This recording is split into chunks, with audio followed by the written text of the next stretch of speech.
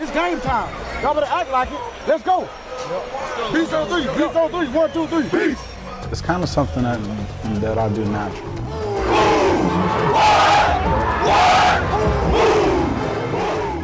Even when I was younger, you know, uh, the kids kind of rallied around me. In high school, you know, the guys kind of rallied around me. Uh, I've been a leader here since I've been a young guy, since I've been a sophomore, junior, because I had to be. We, we were all young.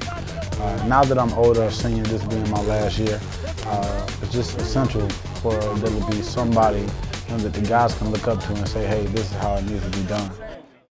When we on that field, play for your brother, man. Play for, I, I gotta know that Aaron Leonard gonna do his job so I can do mine. I gotta know Chris Neal gonna do his job so I can do mine. We gotta play for each other, bro. And until we do, we ain't gonna never be as good as we can. Get focused, man. Come out there, bro. Give me all you got. Give the seniors all you got.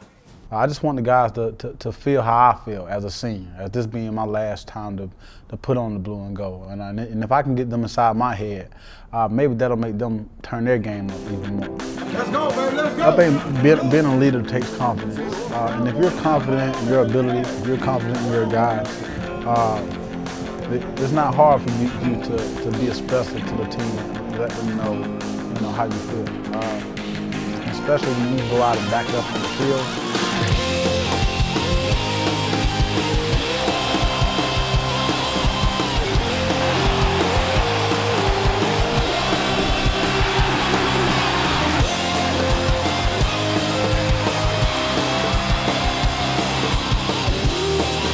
that's when guys really start believing in you. That's when guys really start to, to take heed to what you're saying.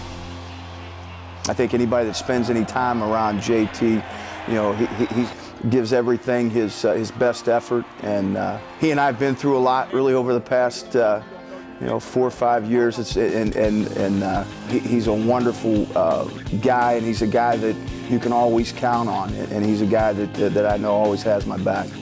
Me and Coach Castillo have a great relationship. Uh, he's just one of those kind of kind of guys. You know, you always want him in your corner.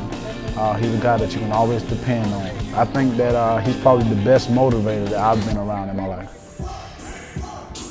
Giving it all you got in, in, in the weight room kind of just helps you in a way. You know, it, it gets your body strong. Uh, you know, I got up to 238 pounds this, this last summer. Uh, just from eating right, sleeping right, getting a lot of rest, going hard in the weight room that, that's something I can look back and hang my hat on and say, hey, I gave it all I had in the weight room too. At the end of the day, you know, it's all about what you go through with your teammates. It's all about, you know, the struggles, the, the, the joy, you know, all the things that, that, that, that you go through as a team, you know, with your guys.